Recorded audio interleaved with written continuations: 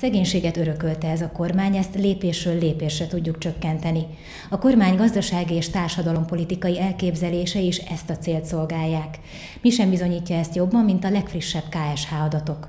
A szegénység vagy társadalmi kirekesztődés kockázatának kitettek aránya 2013-ban együttesen 31,1%-ot ért el, ami 2,4% ponttal alacsonyabb, mint egy évvel korábban.